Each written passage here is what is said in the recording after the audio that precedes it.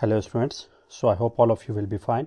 So from today we are going to start another course which will be related to the AC circuits. Previously we have studied uh, all the techniques of this electric circuit analysis in our DC circuits analysis course. Uh, but getting to know about the AC circuits is also one of the important tasks of your circuit analysis techniques.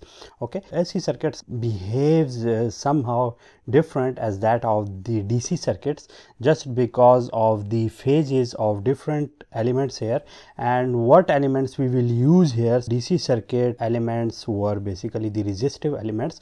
But now in our AC circuits what we are going to do we are going to discuss some more elements and one of those elements is this capacitor and the other element will be this inductor okay? So uh, the capacitor and inductor are basically the energy storing device devices capacitor stores energy in the form of the electric field while the inductor stores energy in the form of the uh, magnetic field okay? Uh, this capacitor is represented by c while inductor is represented by l. So uh, these are basically the two devices which are responsible for the phase change in voltages or, or other electric circuit quantities. So therefore in order to tackle all the issues here we are going to study the topic which is related to the phasors okay? So what are basically the phasors? So let me remove these things and let us let us discuss the phasor. So what is a phasor phasor is basically the rotating vector okay? Why is this called a rotating vector? Because it just have two quantities which are related to this. So the first quantity it has basically the amplitude. It has so let me have this amplitude called a absolute and it has also the rotating angle which is called theta okay? So with these two quantities this phasor is represented and uh, in order to represent many quantities in our circuits will we will use this one okay? So what is the example? So suppose we have the first quantity here in our electric circuit. Okay so let me first remove it and draw it correctly. Okay so let us have here. This is the amplitude this is the time and let us have the first uh, source here. So this is basically the waveform associated with my first source. Similarly with other source when we, when we talked about it it has basically the waveform which is like this one okay? So uh, we can see that uh, when this waveform is at 0 or this curve is at 0 we can see here that it is at its peak. So there is a 90 degree phase shift between these two okay? So there is a 90 degree phase shift or we can call it pi by 2 uh, radians phase shift between these two quantities. So, in order to represent them it is very difficult for us to represent them like these waveforms every time. So, in order to represent them what we can use we can use the phasors okay. So uh, therefore phasors will be very important and we will represent many of these quantities in the form of the phasor diagrams and uh, phasor diagram will tell us all about any circuit or all the quantities which will be related to those circuits. Okay. So uh, in order to tackle the phasors here what is the basic thing which we should have? And that is the complex analysis or complex variables.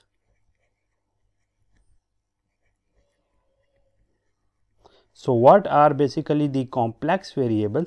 So, uh, in complex variable we can very easily see that let us have a complex variable z which is equal to the quantity a and another quantity which is let me call it b and these are basically separated out from each other by using this j okay so that's a that is basically the complex quantity where a is the real quantity or real uh, term here while this b is the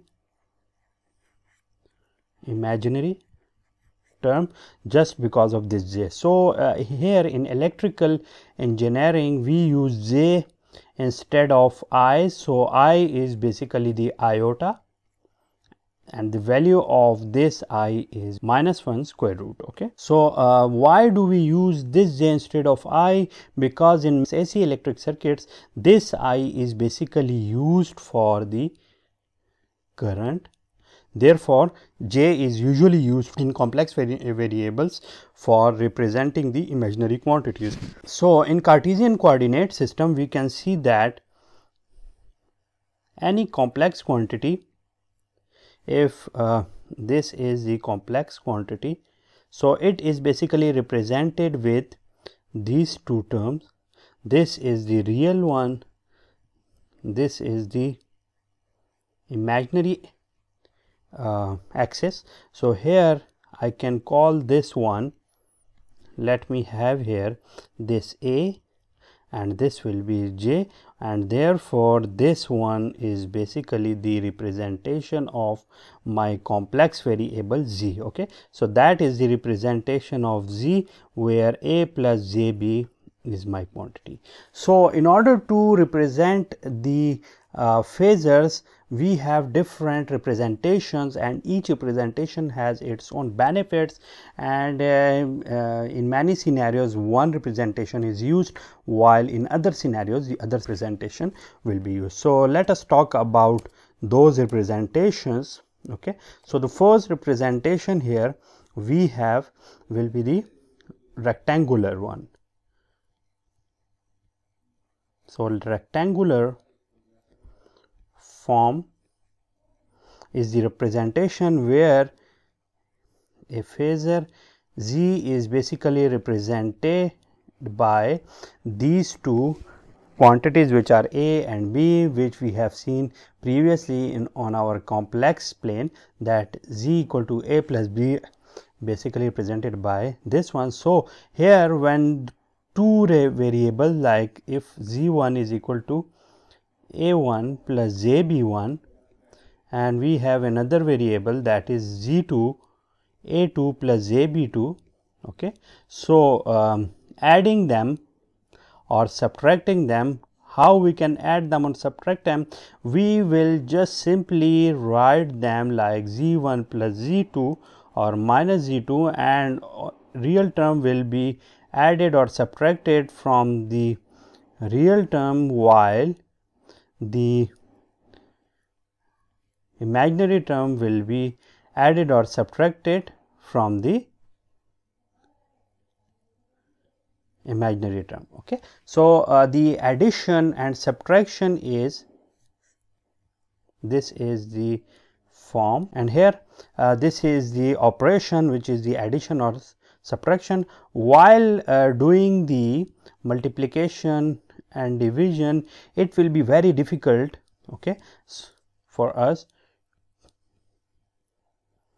to divide or multiply these two because uh, in this case we have to multiply and divide our ratio with the complex conjugate of our quantities and it will be a lengthy process. Uh, at the end it will give us the answer, but it is uh, somehow a very lengthy process. Okay. So, therefore, another very important form of the complex variable and that is the trigonometric form.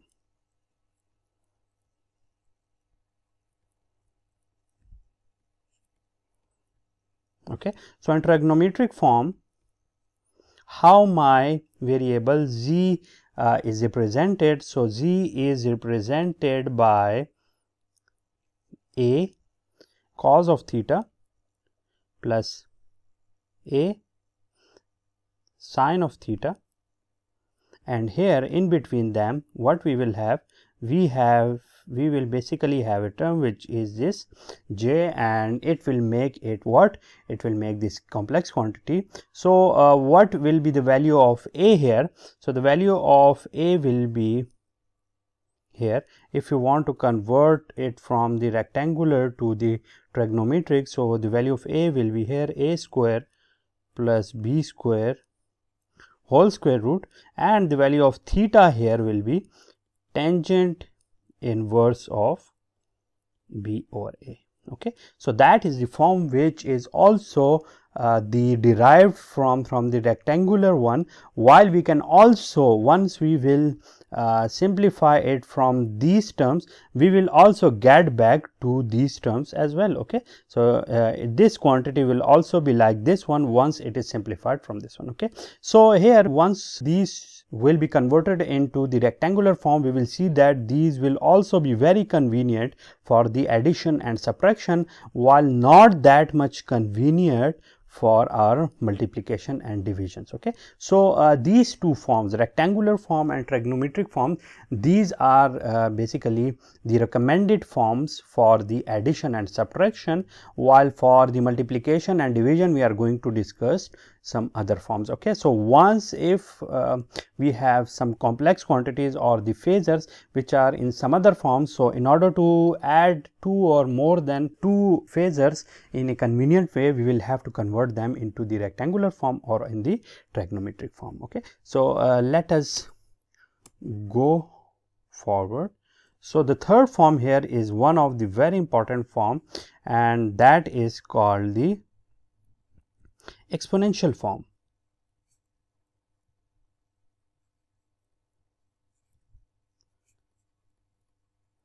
Okay. So uh, what is basically the exponential form? So here we have seen that while converting any form from the rectangular to trigonometric form what were basically the important things this a and this theta. Okay. So in order to represent them by using the euler's formula so according to the euler formula exponential of j uh, let me call it phi is equal to the cos of phi plus j sine of phi okay? So um, when this one this uh, will be converted into the exponential one what we will get? We will get here a and exponential of j theta which is also the z okay? So uh, we have seen that this in this form we have two terms. One is this amplitude the other one is this theta. So that is basically the exponential form okay? So similarly in adding them the first column here is for the addition. So adding two exponential terms or subtracting them is not that much easy. If this is theta 1 and this one theta 2 and this is a 1 and here we have a 2 okay? So this is not a very convenient way or convenient operation for the exponential one but if you want to multiply z1 and z2 while z1 and z2 are basically in the exponential form so what will happen? You will have a exponential the j theta 1 multiplied by a 2 exponential of j theta 2 so what will happen? These two x a1 and a2 will be multiplied together.